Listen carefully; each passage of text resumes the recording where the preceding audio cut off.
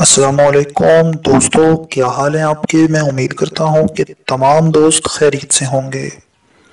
दोस्तों, जो रिश्ता मैं आपको अभी जो है आज बताने जा रहा हूँ, ये जो खातून है हमारी बहन, इनका नाम है सलमा बीबी।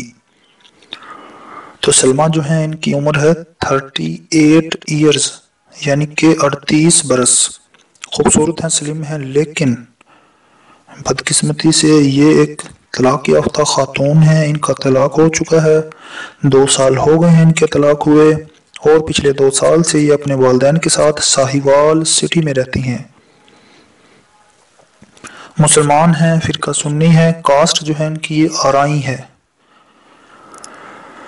तो सलमा जो है, हमारी बहन पढ़ी लिखी हैं, इनकी तालीम एफ़ ए है, अच्छे घराने से हैं।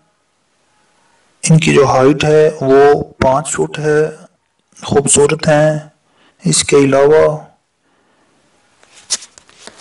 ये कंपनी में जो है जॉब भी करती थी प्राइवेट कंपनी में।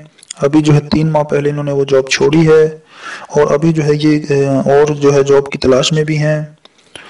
तो इनके जो वालिद साहब हैं, वो ये चाहते हैं कि अपनी बेटी की वो दोबारा से शादी कर दें।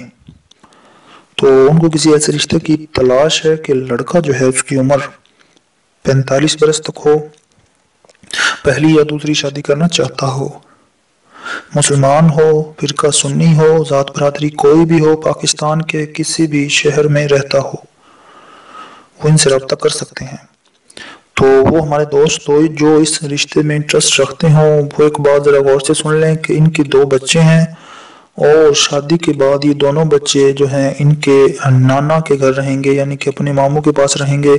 इसलिए बच्चों की कोई टेंशन नहीं है। अगर आप जो है ये सोचते हैं कि ये बच्चे जो है ज़िम्मेदारी कौन उठाएगा तो इस चीज़ की कोई जो है मसला नहीं है। ये बच्चे जो हैं इनके जो मामों हैं बच्चों के उनके पास ही रहेंगे।